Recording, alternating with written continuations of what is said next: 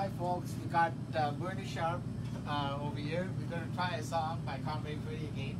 Uh, uh, play me down and uh, we're gonna improvise as